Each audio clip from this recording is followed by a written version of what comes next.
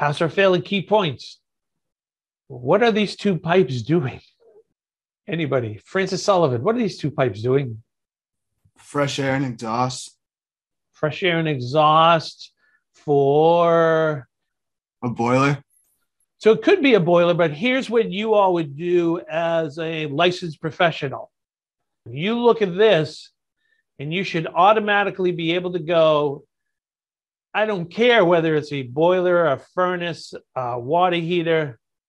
I know it's a category what appliance. And yes, indeed, for those of you who have four fingers up, you are on your road to success because it is indeed connected to a category four appliance. You don't even have to look at it. You don't even have to get in the basement. If it's connected to a category one appliance, we're just dealing with somebody who's like dangerous and should be shot. Really good stuff going on here. There's some really neat things. We got unistrut supporting the pipe with strut clips that are actually stainless steel strut clips the unistrut has like these really cool caps to cover the ends so that nobody gets cut. And we're thinking about I have exhaust fumes coming out of here. Can they get sucked into the intake? Maybe. Prevailing wind coming in here and swishing around me in the corner of the house certainly could pull some stuff in there. Does it meet the manufacturer's instructions from clearance from the corner for both of those? You don't know that right now, but I can tell you it did. So really, most of this is really, really good. Some gas pipe down here, I'm not really happy. It was like existing, but it was kind of right up against the chimney, right up against masonry. It is painted on this side, but God only knows what's going on on the side against the chimney. I'm pretty sure it wasn't painted. But there's a code violation in this picture, and it's like right in your face.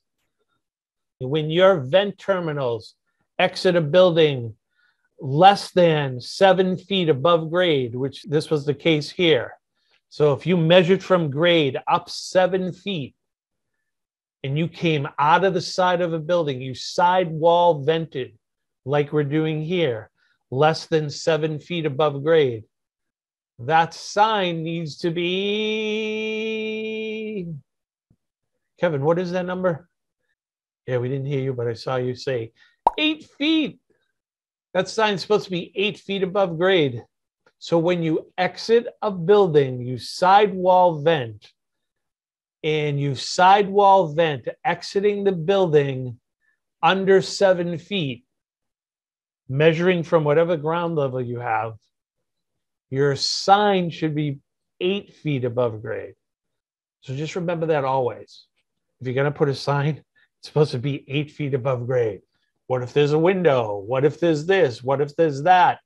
That most of the time means you didn't do a good job surveying where you were going to pump out those vents for your appliance.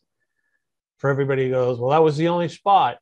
That's all I could do plenty of other different types of boilers and water heaters and furnaces that you could have installed and made them comply. Well, this is the one they wanted. It's your job as a licensed professional to make the point. Code violation is a code violation. Not my problem that you didn't tell them everything they needed to know. Oh, yeah, now the inspector comes. So I'll let him be the or her be the bad guy because I didn't do my due diligence because I didn't really know my own code. And that's what I'm going to tell a homeowner when you put me in that situation. Don't give excuses, make it right. Do it right the first time. That was a fail, even though it was really good work.